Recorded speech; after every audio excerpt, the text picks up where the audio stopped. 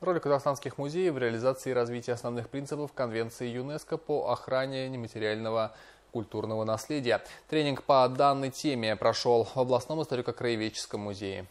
Были приглашены члены областного объединения дизайнеров Центра «Тумар» и местные ремесленники, учителя истории и заведующие музейными отделами.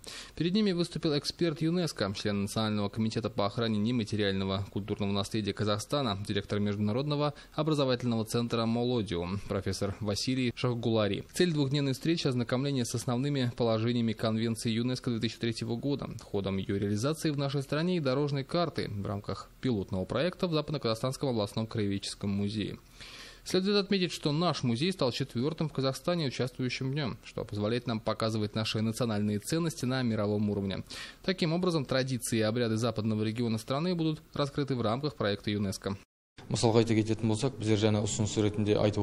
Например, только на западе страны отмечается праздник Курисуайты. Мы предложили праздновать его в рамках ЮНЕСКо. Проведение тренинга важно для жителей области и значимо для работников сферы культуры.